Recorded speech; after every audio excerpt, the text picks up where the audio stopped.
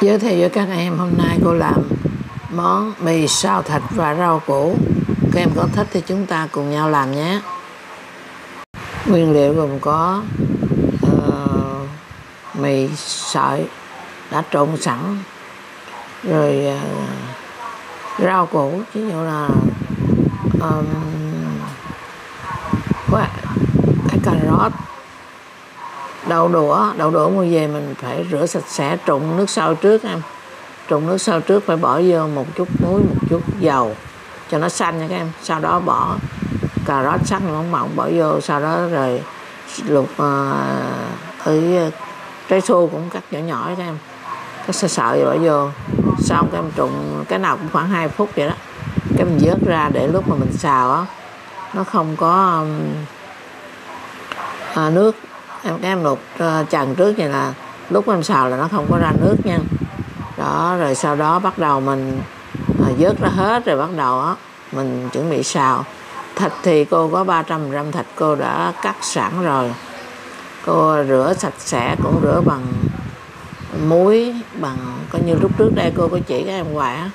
Mà rửa mình sợ trong trong ờ, thịt trong tủ lạnh nó có chất này kia, mình phải rửa bằng bọc bắp đó các em, cho nó sạch xong rồi mình đem ra mình để ráo mình rửa đi rửa lại cho nước lạnh thật sạch.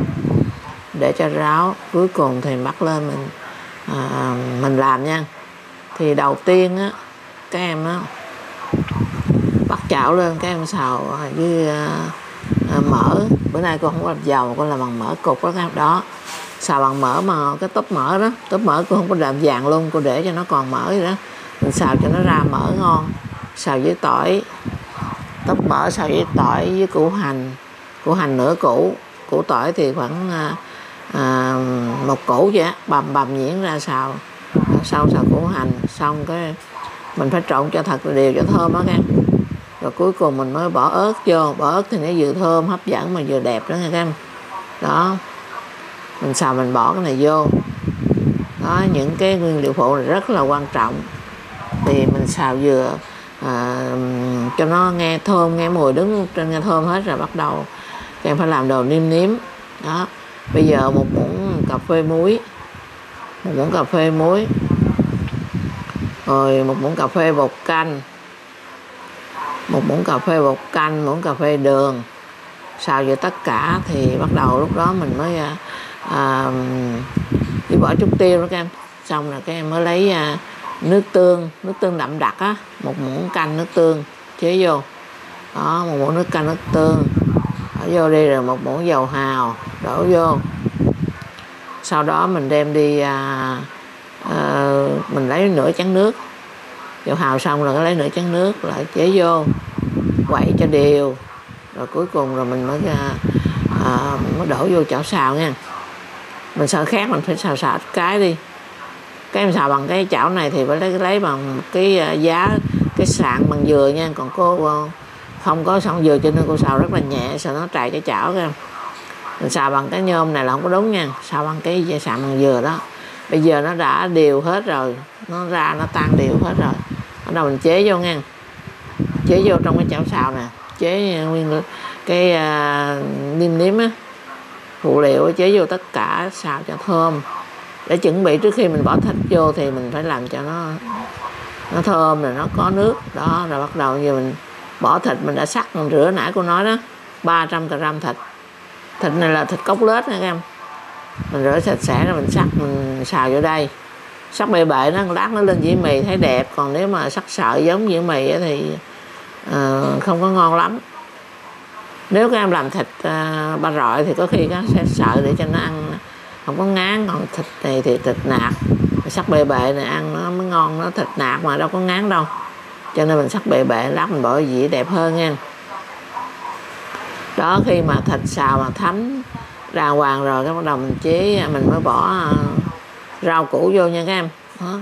thịt xào canh mà vừa thấy thịt tái chín hết rồi, cái bắt đầu mình mới đổ à, rau củ vô nha. Đó. Giờ cảm thấy chín thì mình đổ rau củ vô. Mà thịt này hơi thiếu nước nữa nó hơi khô nè, phải bỏ cho miếng nước nữa, để cho thịt nó thấm đều các em đó, nó thiếu nước á, thêm một miếng này cho nó thấm đều rồi mới bỏ rau củ vô nha. Đó, bây giờ là thịt đã đều đã chín đều rồi hả? Chín, tái chín luôn hết rồi, bắt đầu bắt đổ su với rau củ vô nha các em. Để mà tất cả này mình có quyền xào lượt vì hồi nãy cái nào cô cũng trụng hết rồi nãy có trộn cà rốt với đậu đũa. Đậu đũa trước rồi tới cà rốt rồi tới su á. Nhưng mà giờ khi mà xào là có quyền đổ lượt vì cái đó cái nào cũng được trộn hết rồi. Mình không có bỏ trước sau nữa. Mà làm một lượt nó vẫn ngon các em.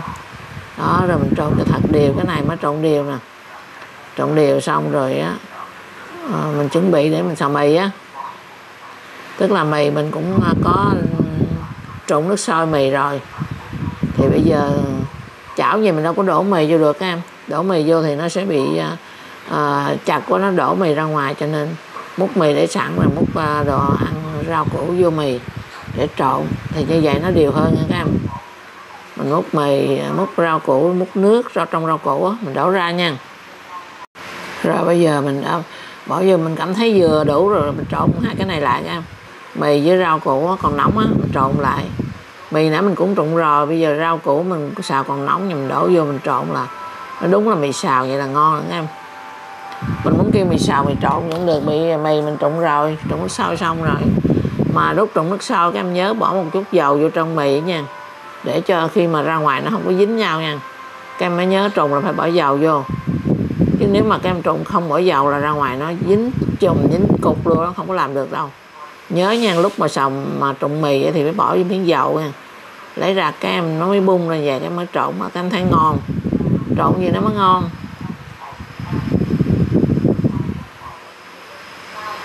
Rồi phần còn lại cô sẽ ờ, làm thêm thao nữa nha. Giờ mình đã trộn mì với rau củ quả xong hết rồi thịt được. Trộn xong hết rồi giờ mình sẽ bắt đầu gấp ra dĩa nha các em.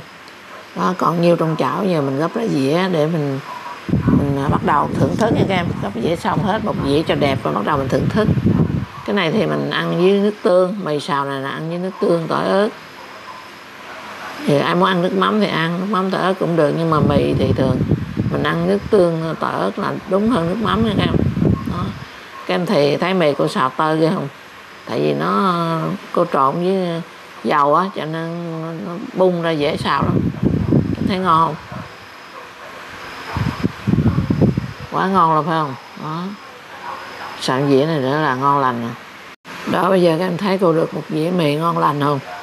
Dĩa mì hấp dẫn ha à, chuẩn bị mình à, thưởng thức nha các em đó các em thấy không rau dưa đầy đủ rồi à, ờ, của cà rốt rồi còn ớt nữa màu cà rốt rồi màu cam đẹp rồi màu ớt màu đỏ các em thấy đẹp không? Dễ hấp dẫn ghê ha. Đó giờ bắt đầu chúng ta thưởng thức nha mà rắc chút tiêu nữa là xong nha các em giờ bỏ miếng tiêu nữa là xong liền. Đó. Rồi các em nhớ nha làm món món ngon giống cô nha nghe các em là thích thì bắt đầu à, làm giống yên cô rồi à, đăng ký kênh cho cô với lại à, bấm like cho cô nha. Nhớ nha. Nhớ về nhà làm cho cả nhà cùng ăn ngày chủ nhật thứ bảy hay là gia đình họp đông vui gì đó. Các em nhớ làm. Mì với chén tương vậy là mình có quyền ăn à lấy cái chén đâu đũa lại là mình ăn ngon lành đó các em. Ăn buổi sáng này là ăn ngon luôn khỏi có nấu cơm nha. Cô xào cái chảo này bự cô chắc ăn ăn cả nhà rồi à, dựng sáo tới chơi nó cho ăn luôn cả nhà chắc. Ngon luôn tới chiều luôn. Rồi các em thấy thích đó thì à, làm nha nhớ làm như vậy ăn nha nhớ. Các em xào phải từng bước nha. Phải vô đầu thì phải uh, rau củ phải trụng nước sôi đàng hoàng. Mì cũng phải trụng mà bỏ dầu vô nhớ vậy đó. Rồi uh, trụng cho nó lúc mình trộn thì nó bung nó không bị dính mì á các nhớ cái điều là trộn mì thì phải bỏ cái dầu vô nha. Các em nhớ vậy rồi khi xào rau củ chín thì bỏ thịt à, à, thịt bỏ vô trước, thịt bỏ chung à, tức là xào củ tỏi, củ hành, ớt, rồi bỏ thịt vô đó cho nó thơm đó các em. Cho thơm thịt, rồi mới bỏ rồi nêm nếm vô. Muốn hào một nước tương gì đó, đầy đủ, rồi nêm, một canh, một nêm đầy đủ nha rồi chế vô xong cuối cùng chính bỏ thịt vô xào, xong rồi rau củ nữa trộn mì. Rồi.